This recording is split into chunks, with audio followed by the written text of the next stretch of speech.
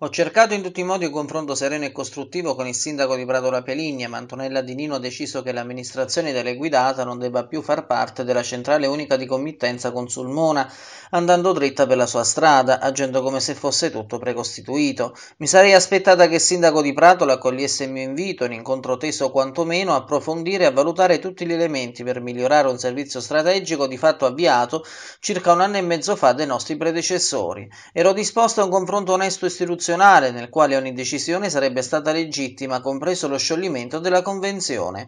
Invece il sindaco ha liquidato frettolosamente la questione, dando l'impressione di essere guidata da motivazioni legate a vecchie logiche di opportunismo politico e ragioni di campanile, piuttosto che dagli interessi dei cittadini, non aprendosi le opportunità di migliorare i progetti di collaborazione e rinsaldare i legami di territorio. E quanto afferma il sindaco di Sulmona Anna Maria Casini all'indomani della delibera di recesso della convenzione sulla CUC tra Pratola e Sulmona.